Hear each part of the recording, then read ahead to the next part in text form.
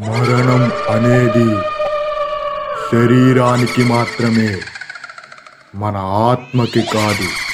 అలాంటి ఆత్మ ఎప్పుడు ఎవ్వరిని ఎలా చేరుతుందో ఎవ్వరికీ తెలియదు.